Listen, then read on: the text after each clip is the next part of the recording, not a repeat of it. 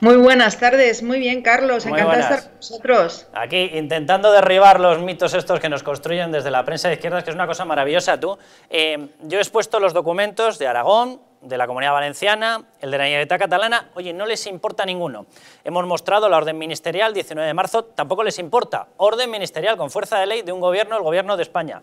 Hemos mostrado el informe técnico del 5 de marzo, Ministerio de Sanidad, tampoco les importa. No, es que solamente tienen un objetivo, ir eh, a por Isabel Díaz Ayuso, presidenta de la Comunidad de Madrid, y entre otros a por ti, que también eres diputada allí. Yo, de verdad, yo no llego a entender muy bien cómo se puede tener la cara tan dura. O sea, me parecería muy bien que digan, oye, vamos a informar de la Comunidad de Madrid y también de Aragón, y también de Cataluña, y también del otro. no, no, no, no. El único foco de debate sobre las residencias está en la Comunidad de Madrid, sobre la presidenta de la Comunidad de Madrid y a poder ser sobre las residencias privadas. ¿Tú lo entiendes, Almudena? Lo entiendo perfectamente, Carlos, te lo voy a explicar. Y es que estamos ante un gobierno autoritario al cual la verdad le importa muy poquito.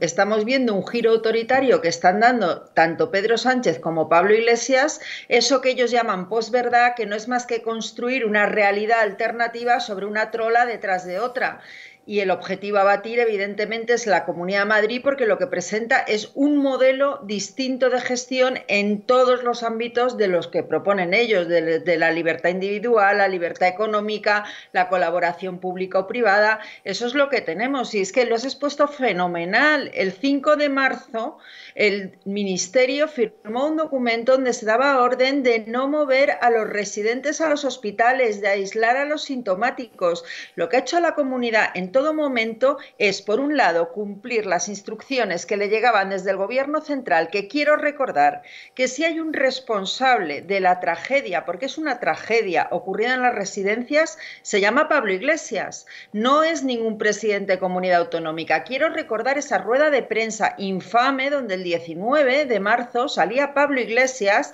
haciéndose eco del boletín del 17 de marzo diciendo que él venía a salvar las residencias de ancianos, prometiendo 300 millones que, por cierto, los de las residencias no saben a dónde han ido a parar esos 300 millones de euros que prometió Pablo Iglesias. ¿Y para qué eran esos 300 millones de euros? Esto era para contratar personal que en la Comunidad de Madrid quien se ha hecho cargo ha sido la Comunidad de Madrid y para contratar materiales de protección, los famosos EPIs para los empleados, pero también mascarillas, todo lo que hiciera falta, medicamentos, oxigenoterapia para los enfermos. Bueno, nada de esto lo ha hecho el Gobierno central. Tenemos que pensar que la Comunidad de Madrid se ha pasado mucho tiempo, muchas semanas peleando por cada vida, en cada sitio, en cada hospital, en cada residencia, en cada domicilio y teniendo muchas veces a la contra al propio gobierno de España. Yo me gustaría señalar además los errores que ha cometido. Este. Primero, no tomaron medidas antes del 8M, que ahora están muy ufanos porque ha habido un sobreseimiento profesional en los juzgados, pero la realidad es que el gobierno, que es quien tiene que gestionar las alertas supraautonómicas, no tomó ninguna medida de acopio de material como indicaban la OMS y la Unión Europea antes del 8 de marzo. Y eso que teníamos 10 días de ventaja con respecto a Italia y sabíamos lo que estaba pasando allí en las residencias. Por eso en la Comunidad de Madrid el día 9 ya estábamos cerrando los centros de mayores mientras el gobierno nos llamaba alarmista. Pero es que no hizo ese acopio de material, pero es que desde el momento en que asume el mando único Pablo Iglesias, esto ya es el caos total. Y como Pablo Iglesias no es, y es completamente incapaz de proveer de material a estas residencias, de abandonar la ideología, porque si quieres lo, eh, luego te cuento qué hay detrás de toda esta campaña de las residencias, qué quiere hacer ahora, trasladar la responsabilidad a quién, pues cómo no, a Isabel Díaz Ayuso, que al final va a tener la culpa de absolutamente todo lo que ha gestionado mal el gobierno central en Por esta cierto, Almudena, un, un dato que yo creo que es muy importante en medio de esto que estamos contando, ha habido un ranking en el que se ha evaluado cuánta parte de la mortalidad provocada por el COVID-19, por el coronavirus, corresponde a las residencias. Madrid, y si le preguntamos a la audiencia dirá, bueno, estará muy arriba. Muy arriba, la penúltima.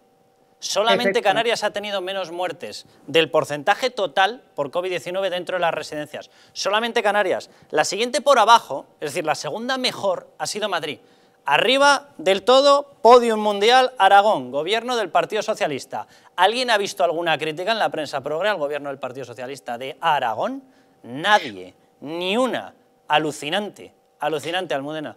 No, no, es que además en todos los gobiernos donde influye Podemos, desde Extremadura a Aragón, están muy por encima, efectivamente. Frente al 85,5% creo recordar de Aragón, tenemos un 32,1% de fallecimientos en residencias de la Comunidad de Madrid. Pero yo creo que aquí hay que señalar algo muy importante. Primero, yo quiero reivindicar la labor que han hecho todos los trabajadores de las residencias, tanto privadas como concertadas, como públicas de la Comunidad de Madrid, porque el señor Iglesias prácticamente los está criminalizando, como si hubiesen abandonado a los ancianos ahí a su suerte, cosa que es absolutamente falsa. ¿Qué hay detrás? Pablo Iglesias quiere nacionalizar, nacionalizar las residencias de ancianos, quiere cambiar el modelo de gestión de la Comunidad de Madrid y esto es todo lo que hay detrás de esta campaña. Ideología comunista pura y dura.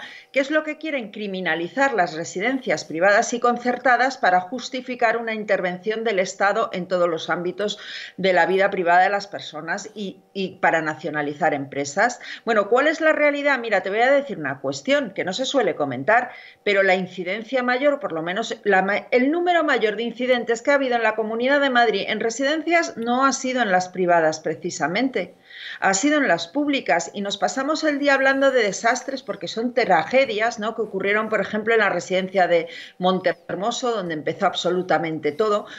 Eh, pero la realidad es que ha habido residencias como en Colmenarejo, en Galapagar, en muchos sitios de Madrid, donde los gestores lo han hecho fenomenal y no llegó ni a entrar el virus. Es que hay muchas residencias de las que no se habla donde la gente está sana. y todo sobre todo, sobre todo Almudena... a pesar de un gobierno que nos incautaba el material que estábamos comprando. No, sí, sobre todo Almudena, que es que yo de verdad es que no, le acepto a él ni, ni el entrar eh, en esa disquisición de, de la pública a la privada, porque él efectivamente lo que está haciendo es utilizar el argumento, un argumento con muertos, un argumento manchado de sangre para sus fines políticos.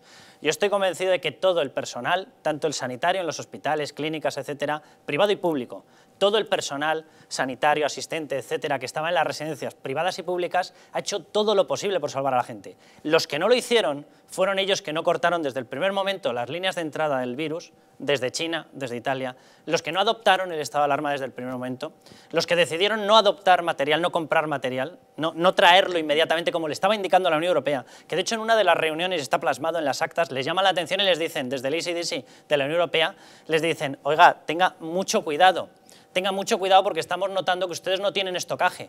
No, no, salieron todos chulos y dijeron, ¿cómo que no tenemos estocaje? Tenemos todo lo que necesitamos. Se les hicieron indicaciones, dijeron, por favor, acudan a las compras conjuntas de la UE. Y ahí estaba Salvadorilla para decir, no hay ningún problema. No hay ningún problema. Nos acabaron diciendo que no eran necesarios los test y que no eran necesarias las mascarillas. Pero ¿cómo se puede tener una cara tan dura como la de esta gente? Bueno, son incapaces de asumir una responsabilidad. Yo quiero dejar muy claro que desde la Comunidad de Madrid se ha peleado por toda y cada una de las vidas Fíjate, y la mayor prueba es que no paran de mentir. Negaron que dicen que prohibimos las derivaciones de ancianos desde las residencias. La realidad es, como tú has puesto de manifiesto, que el 5 de marzo ellos dieron la orden y a pesar de eso se ha trasladado a más de 10.600 personas desde las residencias a los hospitales. Medicalizamos 232 residencias, pero es que además facilitamos, porque el gobierno estaba a otra cosa, ya sabes que ella se dedicaba a comprar material por la zona de Barcelona en la que él fue el alcalde, pues mientras ella hacía esas cosas, nosotros facilitamos 2.960 concentradores de oxigenoterapia a las residencias. En Madrid sí que no se ha hecho distingo entre pública y privada y se ha intentado en todo momento salvar vidas. Es verdad que ahora hay que hacer una reflexión de cara a un posible rebrote. Habrá que ver si hay que medicalizar en parte cierta las residencias sí o no, si hay que cambiar los convenios marco, pero vamos, que nadie ponga en duda que la Comunidad de Madrid y sobre todo Isabel Díaz Ayuso se ha dejado hasta la salud para salvar vidas. Es que la campaña de esta gente no puede ser más miserable. Es que yo creo que solo les falta pedir un análisis de sangre a la presidenta a ver si es cierto que estuvo enferma. Te lo digo de verdad ¿Y todo para qué? Para tapar su propia incompetencia, porque eso es lo que hay detrás. La incompetencia de esta gente que montó un gobierno ideológico para hacer un cambio, un giro autoritario y un cambio de régimen y se encontró, como nos encontramos todo, con una tragedia que nadie contaba. Y lo que se ha puesto de manifiesto es que son los incompetentes absolutos, del primero al último. Bueno, pues Almudena, como decía mi abuela, que tenía un dicho maravilloso que era contra el vicio de pedir, la virtud de no dar. Bueno, pues si ellos piden que os vayáis, ya sabéis lo que tenéis que hacer, aguantar. ¿Vale? No, vamos a ir, Carlos. Almudena, un beso muy grande. Beso.